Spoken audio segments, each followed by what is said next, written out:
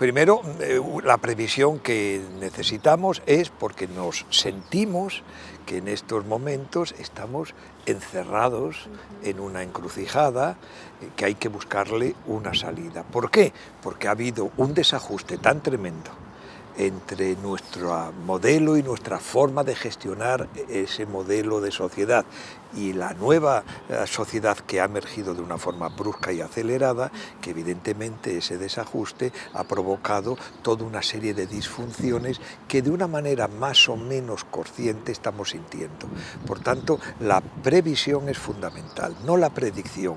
Nos sobran predicciones, es decir, profetas, gurús, que nos resuelven las dudas, que no las resuelven, pero sí nos da la impresión de que con esas recetas se resuelve. Lo que necesitamos es prever, la previsión de que el mundo por donde va, eh, hace que la educación se altere por completo sus concepciones, que tengamos que hacer frente a cuestiones como esa, la idea de una percepción del tiempo y del espacio completamente distintas, por tanto no podemos dar la misma forma docente a unas personas que ya tienen una concepción del tiempo y del espacio distinto, que tenemos una sociedad en la que hemos pasado de la carencia al exceso informativo y de esa información tenemos que saber metabolizarla. Todos son retos y que esos retos pues, van a constituir en su respuesta esa previsión que tú me señalas.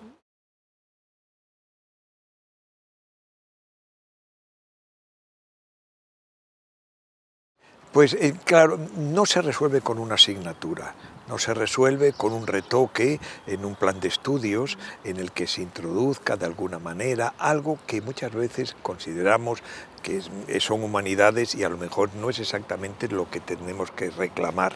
No, yo creo que es eh, este, este trenzar la ciencia, la tecnología y el humanismo, eso es de largo alcance.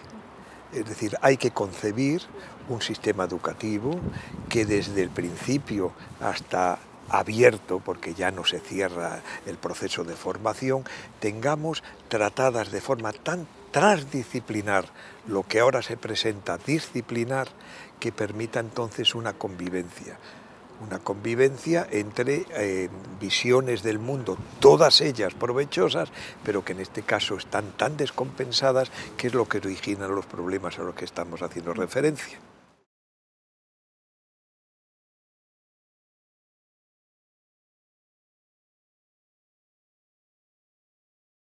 Sí, pues fundamentalmente nos movemos eh, en este mundo que cada vez nos apabulla por su intensidad en todos los aspectos, lo estamos interpretando como si fuera una cosa, decimos, muy compleja, compleja, pero en realidad las tratamos como complicada. Es decir, algo complicado, por muy complicado que sea, se puede reducir troceándolo. Así que es consolador pensar que este mundo tan difícil eh, lo podemos de alguna manera trocear y eso ha repercutido no solo en la ciencia, desde la ciencia decimonónica hasta ahora, o naturalmente en la educación, la idea de parcelar el mundo y hacernos por tanto en el fondo sedentarios. Es decir, tú estás en tu parcela, tú la cultivas y lo demás es, exterior. Eso es ahora insostenible. ¿Por qué? Porque el mundo es complejo y eso origina que tengamos que responder a esa complejidad como se trata la complejidad. La complejidad ni se abarca, por definición, ni se trocea, sino que se recorre. Es decir, tenemos que convertir la visión sedentaria, que también favorece la educación, sobre todo con la especialización. A una visión mucho más eh, eh, abierta, hacer mentes más nómadas y viajeras, más abiertas que aquellas que son más sedentarias y cultivadoras de un espacio muy reducido. Y eso es un inmenso reto.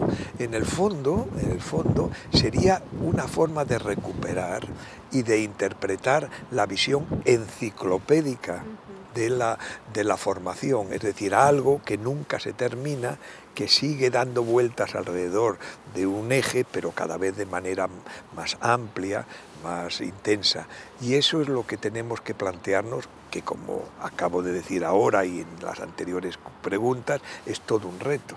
¿eh? porque no, no, se pueden traer recetas, sino preocupaciones, visiones, que es el primer avance para después actuar en consecuencia. La previsión es importante porque cuando prevés creas un escenario posible, que a lo mejor no se alcanza ni se va a producir, pero te mueve.